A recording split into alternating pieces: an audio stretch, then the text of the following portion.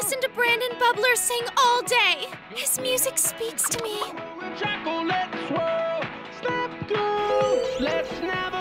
We'll be back with Brandon Bubbler's Power Hour right after this.